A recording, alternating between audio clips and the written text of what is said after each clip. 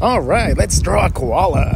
The first thing that I'm going to do is I'm going to block out the general shapes of a koala. If you can see, it's kind of like a little beanbag, and I'm just adding the little features, maybe making the head a little bit bigger than normal just to make it cute.